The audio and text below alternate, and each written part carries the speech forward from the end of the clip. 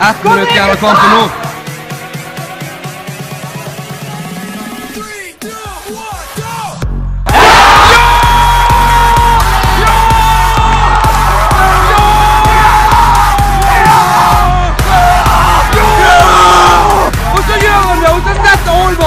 Og drar seg fri!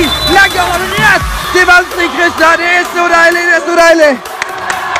Og vi er nøyaktig! Vi er nøyaktig 43 sekunder unna EM!